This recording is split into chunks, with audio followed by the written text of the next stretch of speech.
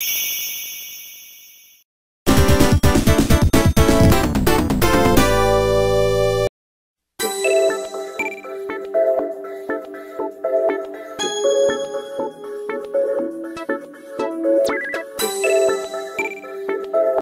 know what,